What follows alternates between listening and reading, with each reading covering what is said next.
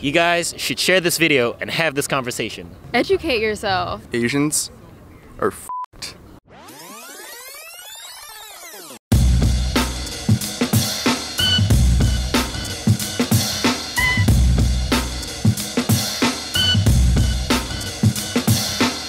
What's going on, everybody? David Fung from the Fung Bros here. Now, there are a ton of hot button issues going on in America right now, but very few of them, if any at all, seem to involve Asians. Today, we're gonna be asking people do they care, what they think, and what we should do. Let's find out. In most or all mainstream American national debates, Asians are left out of the discussion. Agree or disagree? Sure, agree. Agree. Most definitely. Yeah, I agree. Yeah. That's I agree, yeah. Yes. Yeah. Yes. Oh yeah. I would agree. I would say they stay under the radar. Agree. Agree. Definitely agree. Yep. Why is that? I feel like it's partly our fault because a lot of Asians, you know, stick together. Yeah, you guys are a lot more tight-knit. Our community is not that strong compared to like black people, like white people. We as a community, uh, Asian Americans, we're just like very comfortable where we're at. It's like, you know, a vicious circle. Like we're not part of the conversation, so we're not, we choose not to be in that conversation. Asians tend to not speak up, so it's partly our fault. I would say like we're not really discriminated against like hugely in this country. I don't really have motivation to like fight for my rights and stuff like that. Asians are still treated as foreign people. No matter how long we've been in America, there's always this feeling that we're not really a part of it. Some Americans don't think that Asians are part of like the American fabric that makes up America. There aren't um, that many kind of role models to look up to. Asians have always been viewed as like this like silent min- minority. Uh, perhaps if you have heard of the term model minority, Majority of society like venerates the Asian community. Like it's like the model minority. Asians are kind of seen as the model minority, so they're kind of left out of discussions because they don't fit in the minority bucket, nor do they fit in the white bucket. The original conception of Asian Americans as being a model minority was to keep black people in line. Asians aren't viewed as threatening as maybe African Americans or, or Latinos. These people come in here and they do the thing. They're quiet, they keep to themselves, they assimilate. Why can't you? It's kind of like the the the frog in the in the boiling water where like if you slowly heat up the water, the frog doesn't jump out. We're slowly kind of like being edged out of representation, but in the end we still get boiled. What's one thing you think that Asians like enjoy about kind of being under the radar? I mean, we have we have so many things to do. Like in our daily lives, we have a lot of errands. things to focus on. we are super materialistic. We get too bogged down with this stuff. We kind of like tend to forget that we are not the only minority group in this country. Like Asians, if it doesn't affect us, we kind of like don't care about it. One of the pros is that you kind of feel like you're more connected to your like little subculture. It does make it easier for us to kind of just slip by. I'm fine living under the radar too, because like in the like huge news stories, you don't really see like an Asian headlining the news. So I'm really fine with it. Personally, I'm not that under the radar, but I know when I can be, like in a situation. You know how to use it. I know how to uh, use it. What, when the cops come? Like racial profiling is a thing. It's not that I don't care what happens around here. We were brought up to kind of just take the back seat. Our parents, like they encourage us to like, oh, just like easy life, just like lay low on the radar and then you'll have a good life. One of the good things about being underneath the radar is you can just focus on your own life and your boyfriend or your girlfriend. Is that selfish? It is kind of selfish for our generation to think like that because, you know, what about the other minorities? They want to focus on their boyfriend, girlfriends, and dogs too. So if it affects them, it affects us all. I just think it's selfish if you only care about yourself and you're like, I don't need to get involved. My parents, they can think whatever they want, but for me, I'm thinking about the future for my kids. I want them to have a voice. In order for them to have a voice, I need to speak. I need to speak up. Your kids, your kids' kids, they're all gonna be living in America if you choose to live here, and it's something that you gotta kind of, I guess, build the path for them so life is easier. It's like that mindset of like, why should we care if you don't care about us? I think you should care because we're all humans on this earth. It's not a correct mindset. I think it's uh, kind of like uh, disgusting even uh, because like this is an interconnected country. This is an interconnected world. You're never gonna like live in isolation. If you're just letting like these change makers do their thing, how are you being a productive member of society? So, what do you think are some things that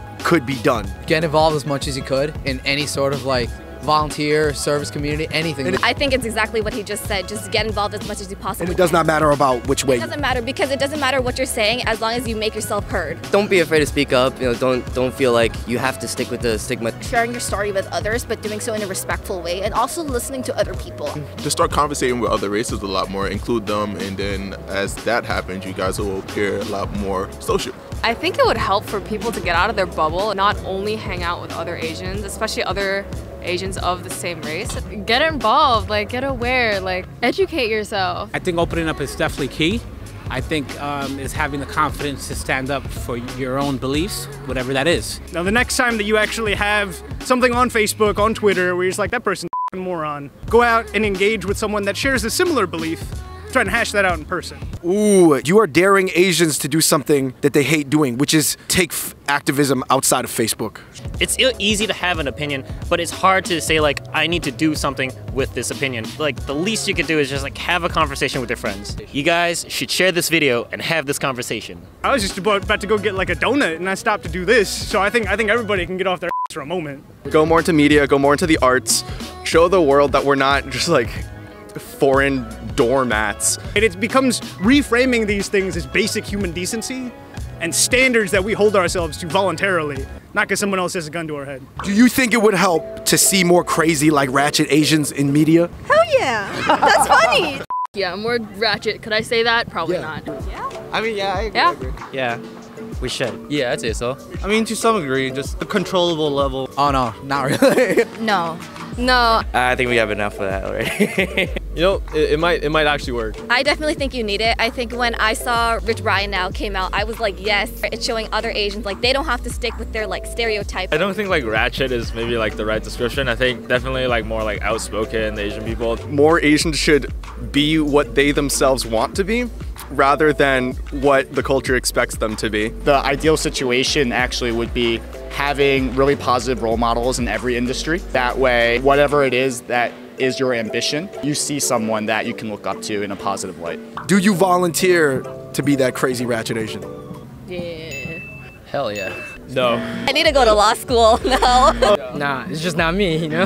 I wouldn't. I wouldn't. I can't do that. I mean, I don't have it in me, but there's probably people out there who like who are like that. Yeah. Optimistic, pessimistic about the, the future and why? Optimistic.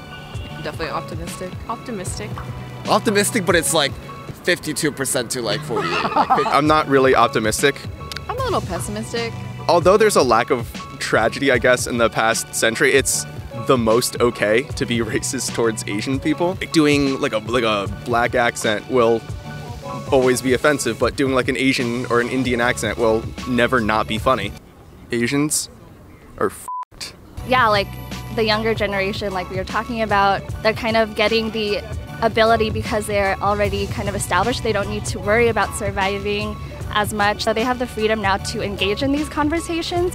The fact that we have several people in the House and Senate that are Asian American, that is a very good sign. It's a bright sign for our future as not just Asian Americans, but as an American. I'm actually from Hungary, and I got an excuse for myself. But you guys, you guys who are American citizens, you guys ought to do more than this. Come on, guys. All right, you guys, thank you so much for watching that episode of Fung Bros on the Street. Today, I was asking people if they felt Asians were involved in mainstream national issues in America. I do think that the common thread at the end of the day was that a lot of people know that Asians should be more outspoken and definitely change the way that we are perceived in American society on a widespread scale. People were a little bit intimidated about what it would take to make the change that they want to see happen.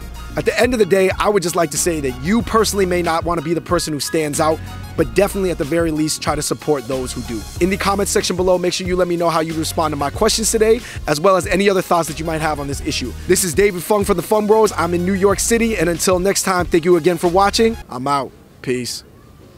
The reason you have to be optimistic is that if you were born at any moment in human history and you didn't know what you were going to be born as, ethnicity, gender, you would pick 2017. You can hold that in head with the very diametrically opposed idea that this is still that we can do better, that we have to do better, but that we are still progressing. And that's something worth hang, you know, hanging our hats on.